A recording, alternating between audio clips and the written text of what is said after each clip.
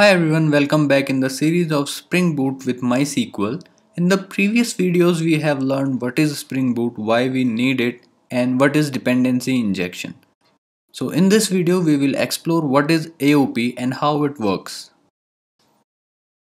When we are writing any code, there are a lot of other things which we have to keep in mind. For example, security.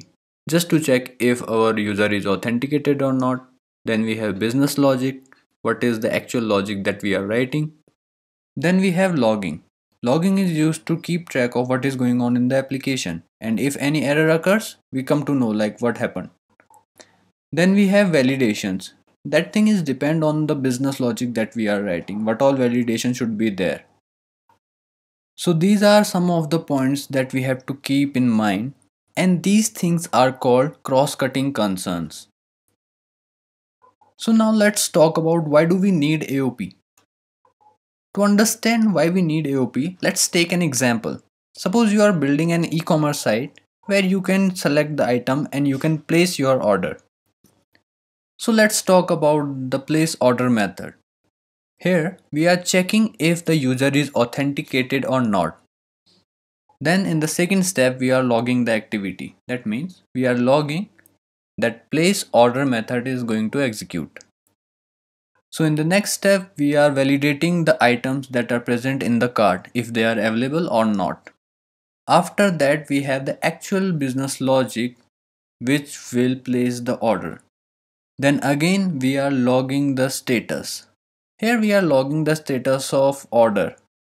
What happened with the order.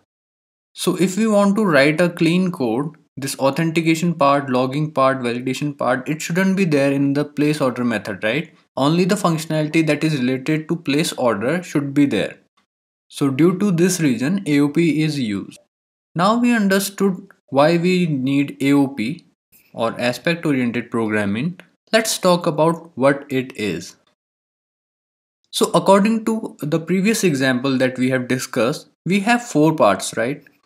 The first one is authentication, then we are doing some validation check and we are doing the logging part as well. And the fourth part is the actual business logic that we are implementing. So these can be separated into four individual methods right? So let's separate this code into four different methods. So the first method is authenticate user. So this will take care of authentication part.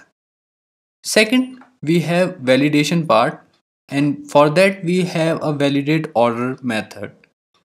Then we have logging part and the log user activity method will take care of that. And now the place order code will be there in the place order method only. So now our code is clean and it is separated according to the functionality. Now the thing is to merge it. Now let's talk about some of the important concepts of AOP and how and when the code will be merged. We have multiple concepts in AOP, so let's talk about the most popular ones. The first one is advice, then we have join point, then we have aspect, and the fourth one is point cut. Apart from it, we have one target object as well, which we'll discuss later. So let's take an example and understand what all these four things are. So according to the example, we have one method that is check even odd. It takes one parameter that is an integer and it returns a string. According to the condition, if the number is even, it will return even. If the number is odd, it will return odd. If the number is negative, it will return negative. Otherwise, it will return 0.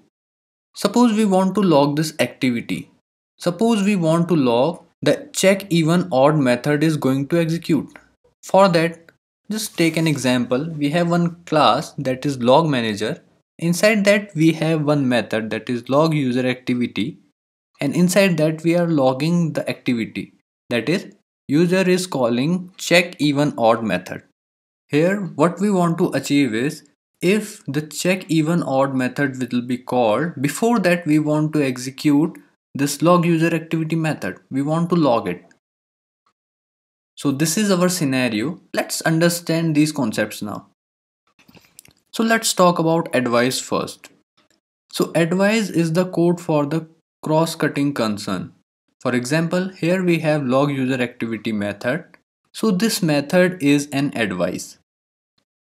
Then the second concept that we have is join point.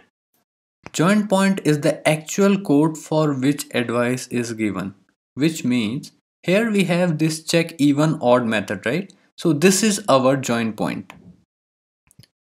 Then the third thing is aspect. Aspect is the class which contains all the advice. So suppose we have some other logging things as well. So in that case, we can place those methods in this log manager class. So here the log manager class will be the aspect. Now we are aware of what code we are executing and for that code what advice we'll need. So the next question is when that advice will be called. For that we have point cut. Point cut defines when the advice will be executed. For example, here we can say whenever the execution of check even odd method will be there at that time we want to run our advice. Now you are aware of what is advice, what is join point, what is aspect and what is point cut. So let's talk about types of advice now. So we have some types of advices just to make sure when these advices will be called. We categorize advice into five categories which are before, after returning, after throwing, after finally, and around. So the first type is before. Advices of this type will be executed before execution of join point and it can't prevent execution of join point. Then we have the second category that is after returning. The advices of this category will be executed after the join point is executed and when the code is executed successfully without any exception or any error. So the next category is after throwing. Advices in this categories will be called after the execution of join point and if any error is thrown. Then the fourth category is after finally. As the name suggests, this is also going to be called after the execution of join point, but this will be called every time. For example, we have finally block in exception handling, right? Similar in this case, this will be called in every cases. So the fifth category that we have is around. These advices will be called before and after and we can decide whether to proceed to the join point or not. And using this, we can return some data or we can throw an exception without executing the join point. Due to this behavior, this is considered the most powerful advice type. So now we have understood the major concepts of AOP and all types of advice. Let's talk about how it internally works. As I said earlier, apart from aspect, join point, advice and point cut, we have one more thing that is target object, right? So whenever we use AOP, a proxy object will be created. So this object is the target object and Java uses proxy design pattern to create this object. We will explore some of the design patterns in the upcoming series on design pattern. For now, you can just keep in mind like an object will be created. The second step is some code will be injected based on the advice type. Suppose we have one before advice, so that will be injected and we have another advice that is after advice, so that will also injected into that code. So this is how the sum method will look like after injecting the code. And one more thing, this process of injecting the code is called code weaving.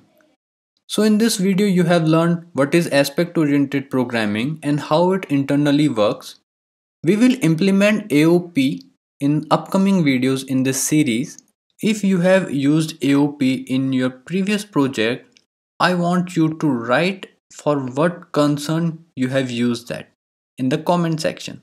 So in the next video we will learn what we are developing and we'll go through the architecture of that application.